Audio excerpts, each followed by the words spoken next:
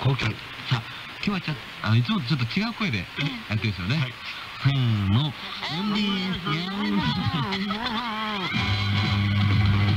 「ンン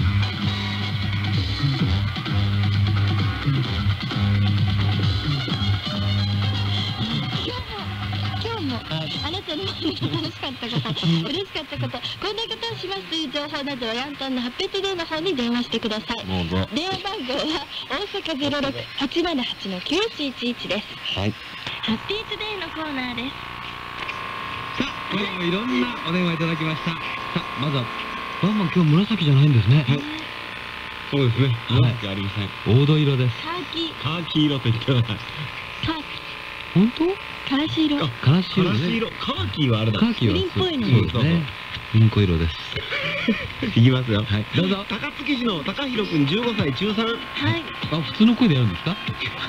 今日お風呂場のドアを開けると、そこにはお姉さんがいて、シャワーを浴びていました。姉は高校3年生で18歳です。いいぞ急いでドアを閉め部屋に戻りました。しばらくしてお姉さんが僕の部屋に来て僕を、スケベ変態と罵りながらどつき回しましたしかしつい先ほどお姉さんの全裸を見た僕にはなぜかその暴力行為が快感でしたお姉さん明日はもっと強く殴って怖いよ最近この兄弟の見境っていうのがだんだんなくなってきてるんでしょうかね女ですからね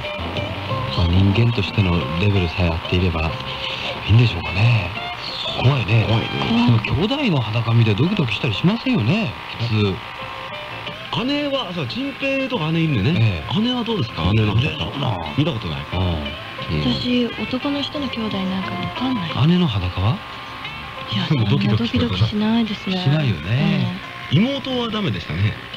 なんで全然ドキドキしませんでしたねそ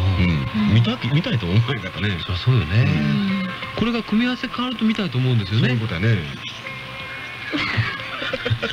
和山県は久美さん14歳中学2年生今日学校の帰り友達と2人でこうの時すね、友達と2人でいたんですけどあるおばあさんが何かをあるおばあさんが何かを一生懸命探してるんです僕たちはおばあさん何か探し物ですか手伝いますよって言うとありがとうピンクの財布なんですよと言うんです3人で探した結果10分ぐらいで見つかりましたおばあさんはこれは孫からもらった財布なんですと言ってとっても喜んでいました天狗おばあさんなんかが持つような財布じゃなくてとっても派手なものだったんだけどとても大切にしているみたいでお礼にと500円ずつもらいましたなんだか僕の方まで嬉しくなりましたあああのー、ね自分の体に合ってないものでもやっぱり思い出の品ってまた大事にしたいてことだねはいえー、姫路市の勝正君12歳小学校6年生お6年生今日はテストでした、僕の隣は学校始まって以来の秀才が座っています彼は始まってすぐ必死に鉛筆の音を立ててましたが10分ほどすると全部書き終えたのか眠りにつきましたえー、終了10分前彼はガバッと起き上がるとよだれだらけの自分の答案用紙に気がつきました、うん、えー、よだれのついた答案用紙は彼のプライドが許しません彼は僕のまだ半分も埋まっていない答案用紙をおねだりして代わりによだれ付き答案用紙をくれました彼はそれを終了までにきちんと書き終えましたおかげで僕の今度のテストの点は良さそうですありがとうありがとう小学校1年生でもうこういう世界あるんですねあるんですねやっぱ時代が違うんですねだいたい小学校の時テストなかったテストなかったうん通信簿もなかったの私の小学校ええー、そう、うんそれもまた珍しい小学校ですねそうですね自分がどんだけの点数取ったか分かるのね成績もなかったからねわあそういうのでもいいねだから中学に入ってから急にね、うん、そういうのがあったから驚いたでも本当はそういう教育しなくちゃいけないんだろうねもう今いきなり受験やもんね小学校から、うん、かわいいね硬くてごめんねはい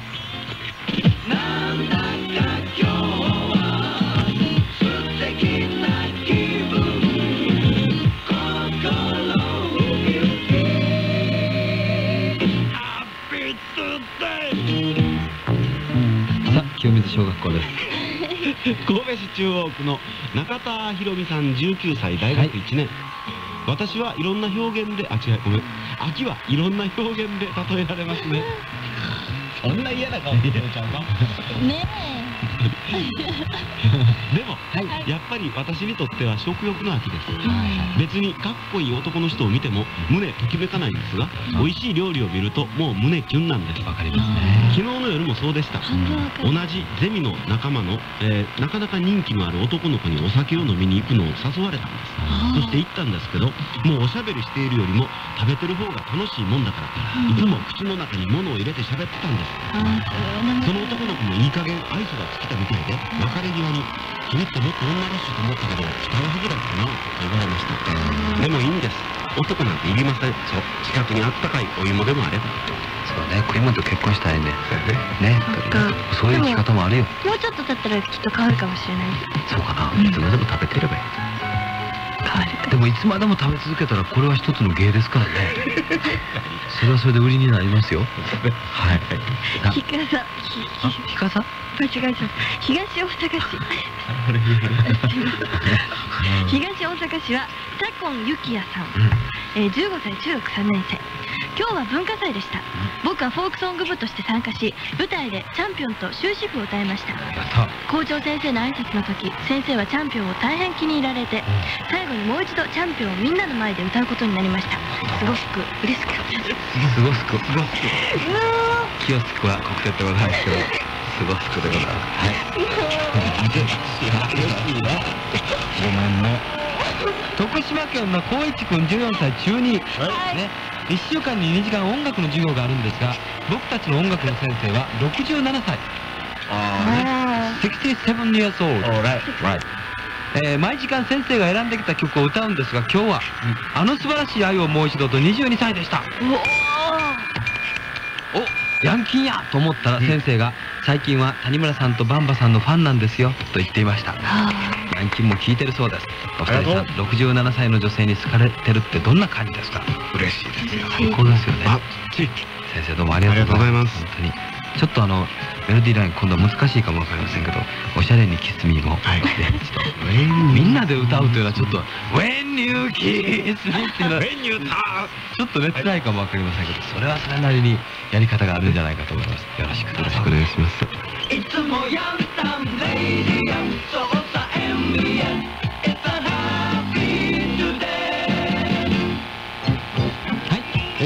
私は山下一子さん14歳中3、はい、実はうちの両親2人とも昨日からおばあちゃんのところへ泊まりに行ってるんです、うん、それで1人じゃ物騒だと言うんでおじさんが泊まりに来てくれたんですあ物騒だそのおじさんが全然存在感のない人で、うん、いつの間にいなくなっていたんですあら私はおじさんがいるのも忘れていつものように玄関の鍵を閉めて寝てしまいました、うん、そして今日の朝学校へ行こうと玄関のドアを開けるとおじさんがパーマンのマントにくるまって寝てたんですいやその時初めておじさんのことを思い出したんですあら本当におじさんごめんなさいでもパーマンのマントどっからもらってきたんだろう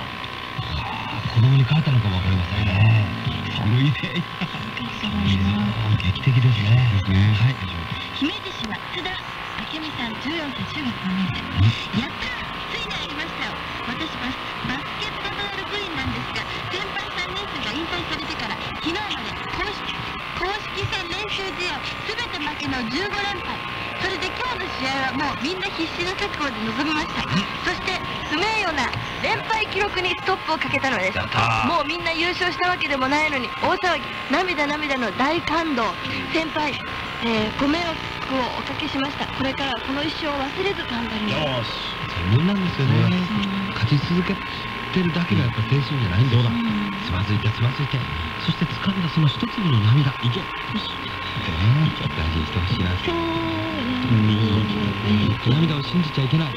あ、のい、を味方にしろあくびでも涙が出るんだぞ明石市の明石市の直弘ん、12歳中学1年生今日は文化祭でした、僕たちのクラスは普及の名作「白雪姫」を演じました僕は主役の王子様でした、ところが雪の最中大道具の木が後ろから倒れてきてと僕に命中しました気がつくと僕は保健室で寝ていました劇はどうなったのと聞くとなんと途中で王子様が死んだことになりアドリブで最後までやり大受けに受けて優勝したそうです一体主役の俺はどうなるんや一体俺は何のために僕はそれ以来捨て石の直弘と呼ばれた これがもまの怪なの表面よねでもアドリブアドリブっていうのは一番新鮮なんですよねできたしねドキドキしたねいったんだろうねこの緊張感を3人ともせれずにステージに立ちたいですねねありがとうございます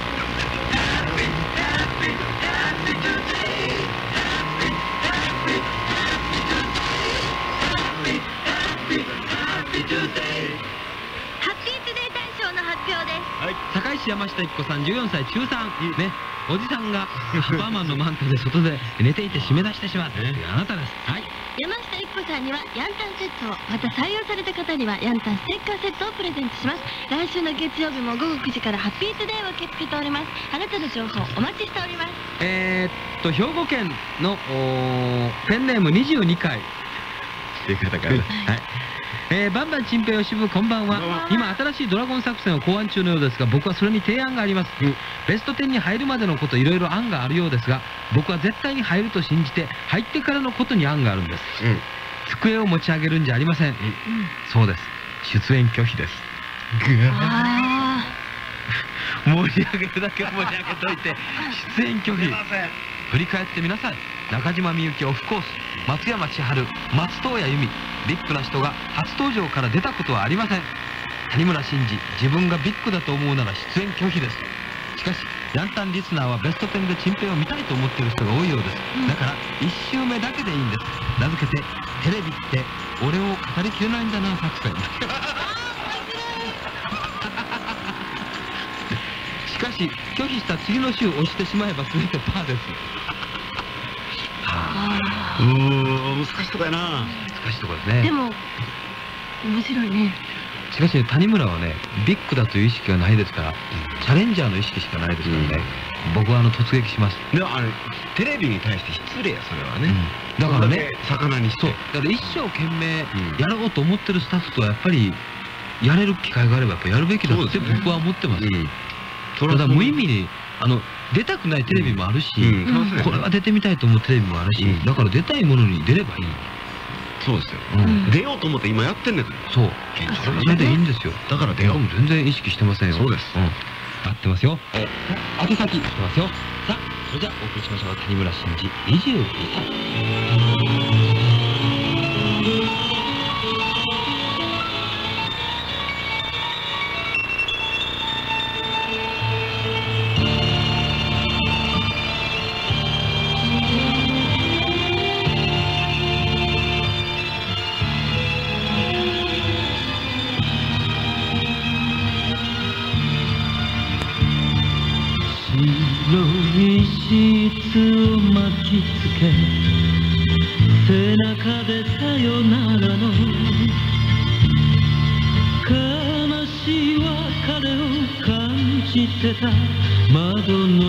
そは光る海優しさとか愛だとか綺麗な言葉など信じれるほど若くはないそれは知っていたけれど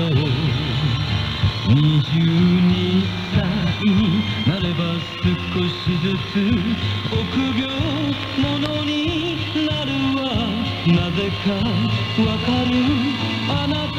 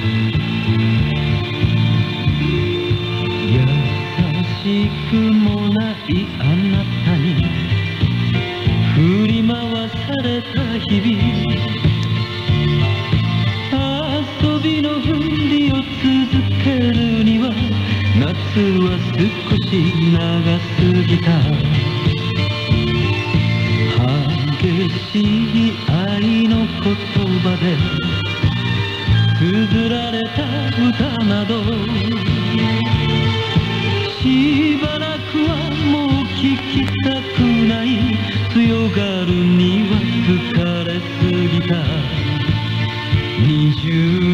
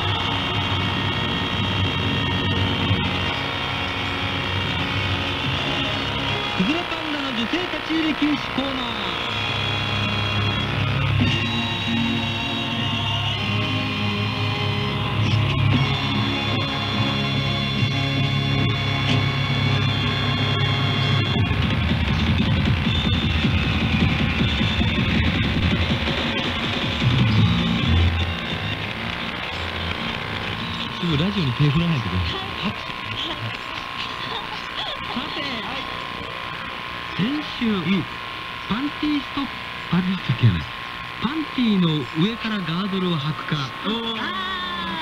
それでえー、っと先週これ誰やパンティーの上からガードルパンティーストッキングの上からパンティーを履く違う違う違うガードルってストッキングて、その上洗い物した2週間だとてのペンネームお米に夢中鉄中の胸がこう、おっしゃるんですね。ーキを履くというチンポンさんの意見がありましたが、うん、下に貼っている写真のようにパンティーの上からガードルをしています確か陳平さんはアメリカの雑誌に載っているセクシーな女性はガードルの上からパンティを履いてるっ言いましたね、見ての通りこのセクシーな女性はパンティの上からガードルを履いていますこれを見て陳平さん何か言い返すことありますかこれバンバンと吉文の意見ですあそうですそうですはいどうだところがこっち側の意見は言わいなんか変回も T 君大好きっ子さんとは先週の放送で話題になったファンストの件につきまして私は金平さんの意見に賛成ですだってよく考えても分かると思いますよパンティーの上から紐つまりバンドを止めますとトイレに行ったりしたらいちいち外してしまうたら長くなるんですよあ、っえっと、こういうことですね、僕は言ってるの。うん、そうですね。はい。うん。僕はこれが普通だって言ったんです。えー、そうなんだ。だからパンあのガードルの紐が先やってその上から下着をつけるっていうのは僕の意見だったんです梢は吉風のような娘に育てる国君から小生は28歳の一児の父です、うん、21日の放送でストッキングを止めるガーターベルトの上からパンチを履くか下から履くか言ってましたが、うんうん、これは谷村さんあんたが正解ですなぜならトイレへ行った時のことを想像を考えてくださいとパンティを下に履くとトイレ行くたびにストッキングを止めている金具を外さなければなりませんだからパンティを上から履くのですと、えー、続きましてこれはペンネーム王様の耳はディック耳面白いお前面白い王様の耳はディック耳やったなそればっかりや、はい先週ガードルがしたかまたはパンツがということで意見が分かれていましたが見てくださいご覧の通りですいやすごいその写真 こういうことですねちょっとこの人お腹のお腹の脂肪気にならないどこ見てるんですかすごいなえいやあなるほどなバんま感動してるより写真に見入ってるだけですね こういうことなんですねだからこれですとあのパンティを下ろしますとこの靴下ガードルのね、この留め金を取らずにおしっこできるでも例えばね、はい、その留め金の根元までパンツずらして、ね、中には入れてるからパンツは中にずらして、うん、でパン留め金のそっか出しておしっこすることはできないでしょうか、ね、それできないことはないでしょうけど、うん、やっぱり美的美的じゃないですね、うん、やっぱりこのこの人おしっこしてるのが助けるそうその人はね履き間違いしてるんですよこの人は絵的なことだけを考えてそう間違った常識を持ってるヤンタン聞いてないんですよこの外人は ボンドがあるかなんか知らんけどあ吉野さんなんかのスタッフがみんな向こうにへばりついてるやんはいすいませんねギターだった感じどこだったっけさっきのペンネーム王様の耳はディック耳ディック耳どこあれあれそこ置いたあれあこれこれそれかはいうちはペンネーム大賞の箱ができましたからね。はい。さあ、うん、谷村さんに別れたい子を。えー、暑いんじゃないいいぜ。お三人さんこんばんは。はい、谷村さんでコー買いました。ドラゴン戦争頑張ってくださいって戦争やないって作戦です。えー、ところで先週男の人のが気持ち悪いってそんなハガキ来てましたよね。私その子の考えることは当たり前だと思うんだ。まして何の経験もない人なんて特にだって私たちにないものがあるんだもんやっぱり不気味ですしかし愛する人ができれば変わると思うんです私もその一人初めは見るのも嫌なんて思ってたし口を使うって聞いた時汚なとも思ったけど今では私の方から触りに行くようになりましたよそれに最初は抵抗あったけど口を使ったりもします今じゃもうやみつき愛する人のために頑張ってますやみつきしたつきこんなの、こんなの、今のアドリブです。こんなの私だけ谷村さん、バンバンどう思いますかおかしいことなのかな私と同じ経験した人の話も聞きたいな私の体験談ってコーナーどうかないいですね。いいですね。はい、体験談みたいなもんですけどね。こういうふうに変わっていくっていうのがナチュラルですよね。ほら、僕らがね、先週言ってた通りですよ。はい、ね知ってしまえばこうなるんですそうですよ。知ってしまえば62歳。意味ないんですよ。はい。さあ、いろんなはがき、今度お手紙です。はい。すごいですよ。ペンネーム動物園に行きたい子さん。私は毎日がルンルンの17歳の乙女です。先週でしたっけ男の人のあれに触れたりするの気持ち悪いとかになってたの。えー、私には中3の時から付き合って2年になる彼女。幸せでも何ヶ月ぐらいだったかな。もうその頃すでに B の中だったんだけどある日彼は私の手をあの部分に持っていこうとしたんですもちろん初めての私はびっくりするというよりももう汚い気持ち悪いとしか頭に浮かばなかったから彼の手を払いのけたかったでもそうしたら彼を侮辱するみたいだし何といってもこれからお世話になる大切なものじゃないかなどなど自分に言い聞かせてそれでも服の上から触れるのが精一杯でしたでもいつからなんでしょうか自分から進んでやりだしたのはもちろん笛ラペケペケですその上引き上げている私まで感じてしまう今日この頃です初めは服の上そして徐々に鳴らしていった彼に驚くばかりですそれでそれに慣れてくるとあれの後ろの方のああ後ろの方の穴肛門がそうですねまでしてほしいって彼言うんですよ最初はすっごく反発を感じましたが彼のあれを初めて触って約2年経った今本を読んで研究している毎日ですだって彼すごく強いんですよかしましあなんか話がそれてきましたねなんか戻れだってバカ野郎お前それで嫌なものに無理にしなさいとは言わないけど愛する人のためと思って少しずつでいいから頑張ってほしいなと思います彼も喜ぶはず、ね、あれも彼の一部だ なんて思ってたら気持ち悪く見えないと思うんだけどなあちなみに私はまだ処女なんですよえここにね彼女の素晴らしいキャッチがあるんです心配しながら C をするより安心して B を楽しむ時代だなるほどな僕これ感動しましたね新しい価値観だ心配しながら C をするよりも安心して B を楽しもうお尻まで舐める人が少女そうですすごいね分からんわ俺は心配の C より安心の B 分かったそうかこの時代なんです今はどうだ後腐れないけど後ろ臭いですよ ちゃんとお風呂入ればいいですけどね後腐れないですよね17 17か13の時から付き合って2年ほら17とっいいガラスのセブンティーン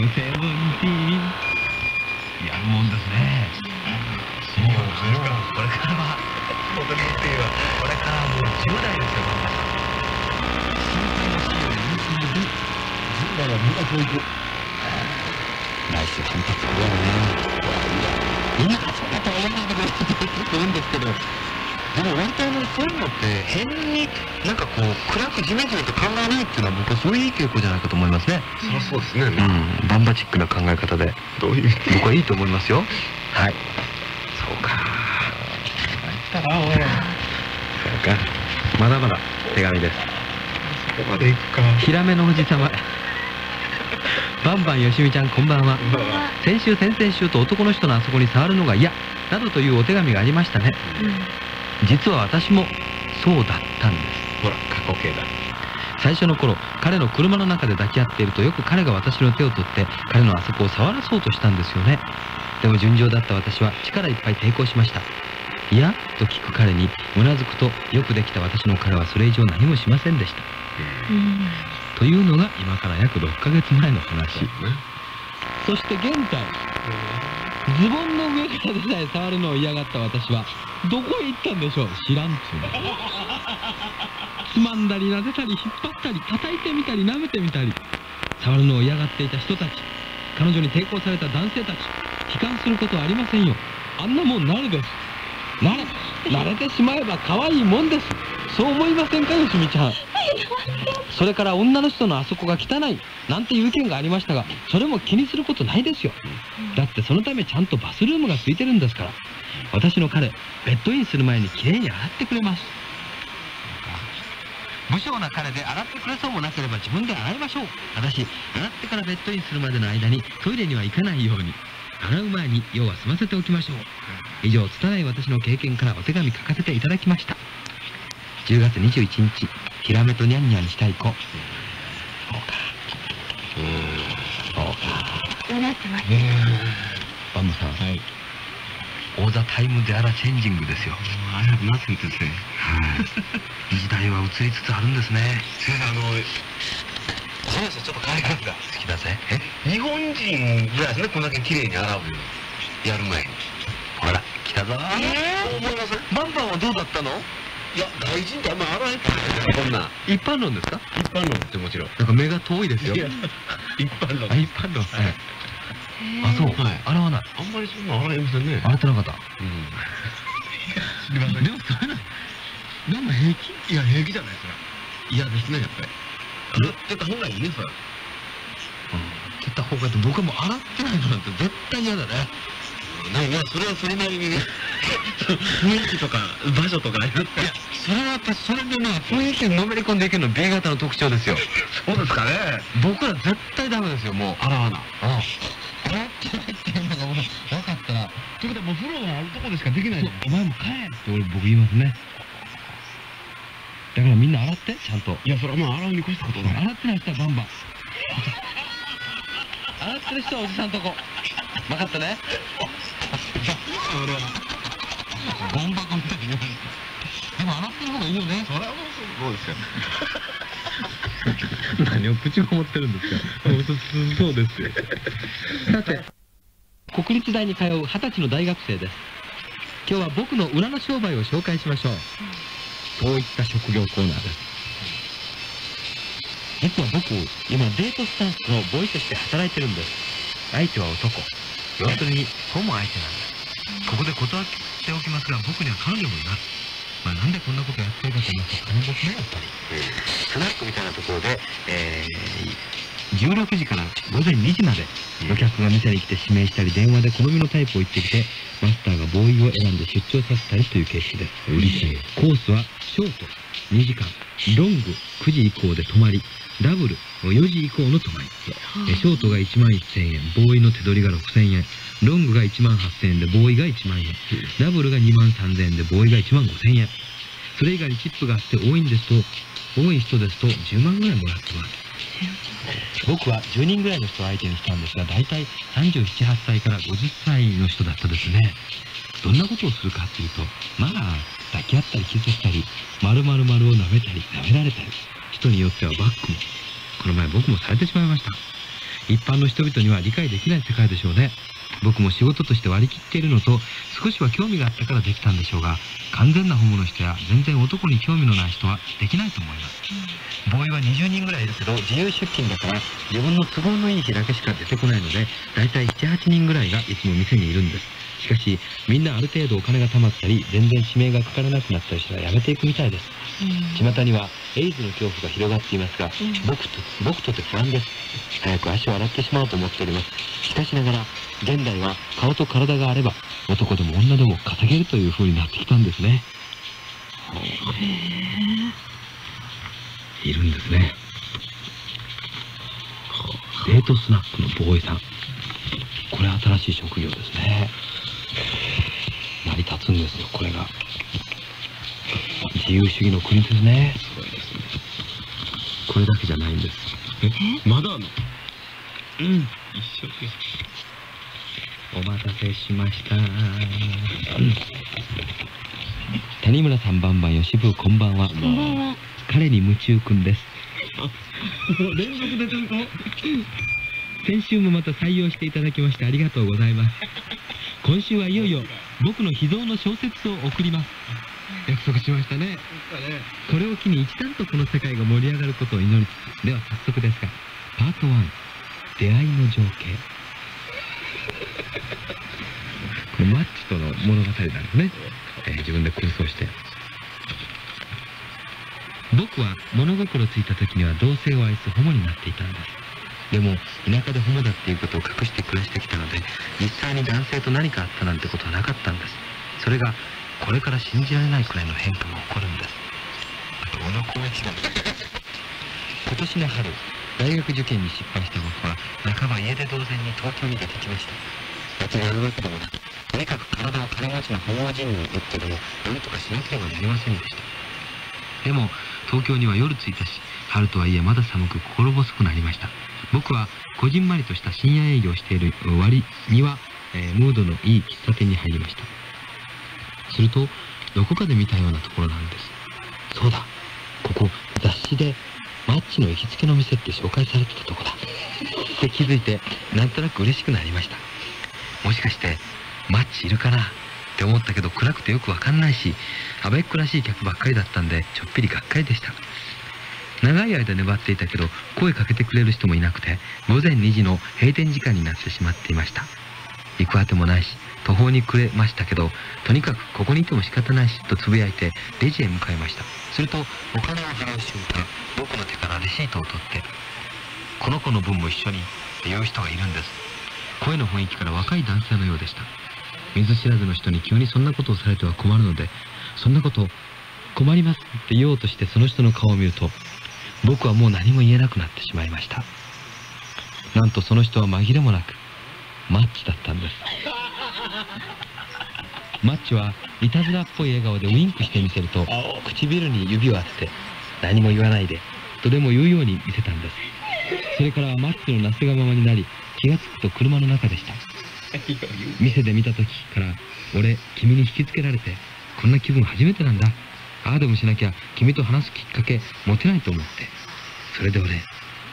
僕はまだ自分がここでこうしていることが信じられなくてぼーっとマッチの横顔を見つめてるだけでしたあんまりじっと見つめないでくれよ俺じっと一人の人に見つめられるのって弱いんだ